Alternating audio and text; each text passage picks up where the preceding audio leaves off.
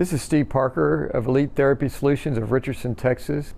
I'd like to now go over something about the head injuries situation. Um, I would like to give a little the spiel I give my parents on the field to give you an idea of what you need to look for and how to get your child back successfully from a brain injury.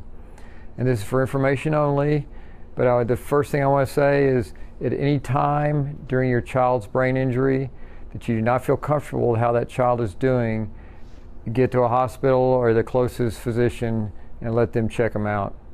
Because you have to feel comfortable how your kid's progressing. We, we don't call it the concussion anymore, we call it a mild traumatic brain injury.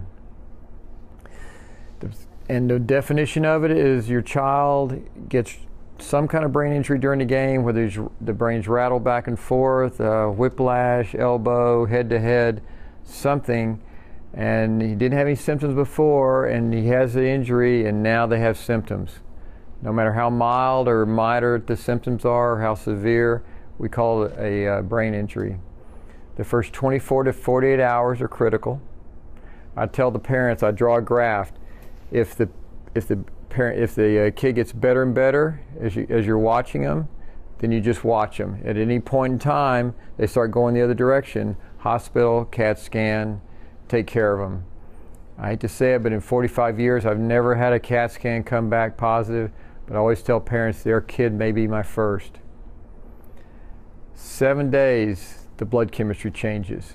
Seven days. Potassium leaks out of the cell, calcium leaks into the cell, which makes the brain need more energy. The problem is, for seven to 10 days the blood flow, the, the brain decreases which makes matters worse because it needs more energy, the blood flow decreases, so they'll start getting tired and lethargic. This is another sign. This is another sign of a brain injury. Uh, stimulation slows down the healing process. If you stimulate the brain, whether even sitting on the field with the wind, the coaches yelling, the kids yelling, the sun can set the symptoms off, uh, anything that stimulates the brain. We're talking uh, things that the kids shouldn't do right away for until the doctor says it's all right to do it. Things like texting, uh, video games, computer, homework, reading, anything that might stimulate the brain, even going to school.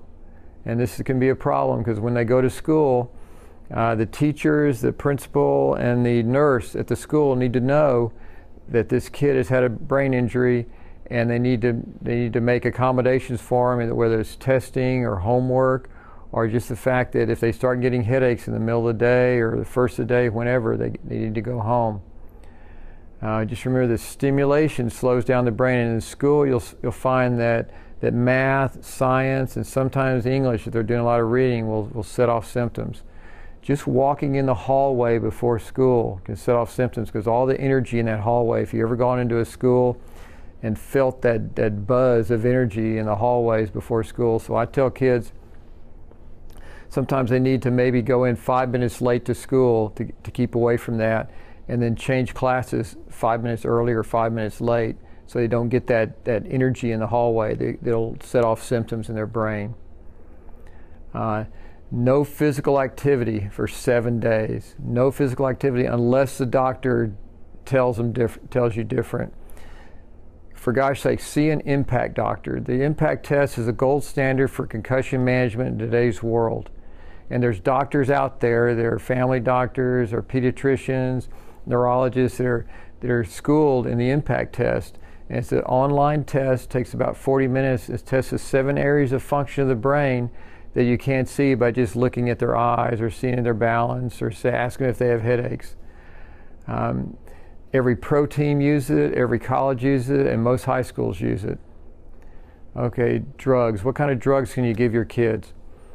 I don't like giving them anything that will take the pain away initially. Now, if you get to, in, always to ask them zero to 10, how bad is the headache? How bad are your symptoms? If the symptoms are getting better and better, you just watch them. If you're not comfortable how they're doing, once again, hospital. But as far as drugs, I don't want to give them anything until bedtime. Then if the headaches are one or two and they're feeling all right, but they're having a little bit of trouble getting to sleep, then I give them, you can give them Tylenol and Aleve because there's no bleeding component to those two drugs. Sleeping during the day, if you say your kid has a brain injury in the morning at a um, soccer tournament or league play, I don't mind them sleeping throughout the day. We used to keep them awake all day long, but we realized that the brains has started the healing process. So yeah, I don't mind letting them sleep for an hour at a time and then wake them up for an hour, hour at a time. As far as TV, I used to say uh, Little House on the Prairie reruns. It's very benign TV, but now it's SpongeBob SquarePants. So anything that does not stimulate the brain, anything flashy. In fact, the, probably the worst thing on TV is the commercials. So if you can video something, I mean, uh, record something and then arrow through the commercials, they're usually flashy, trying to get your attention. And if you have a big screen, make them sit back from the screen as far as possible so it doesn't, so as little stimulation as possible. And their brain will tell you if they have too much stimulation because they'll start having the headaches. Uh, the first night, I know you don't have to do this from the studies, from the latest studies, but I'm from the old school where we woke up the woke up the kid every two hours, check the pupils, make sure they're awake, and let them go back to sleep. That was the old school. I would just suggest maybe one time at night in the middle of their sleep pattern, around two or three in the morning, wake them up, take a flashlight, shine it in each eye, make sure the pupils get small equally and they do react. Talk to them, make sure they're awake, and then let them go back to sleep. After seven days, and they get a good impact test and they have no symptoms, then they can start what's called the progression program. This is five days of raising the blood pressure and pulse rate over five days using some drills that they use in sports. And that way you can tell if they are able to go back on the field or not. After five days, they've passed those tests. Then you put them back on the field. And I like to go for a week of no scrimmaging or no heading the ball. And by doing this, you know for sure they're ready to go back to play.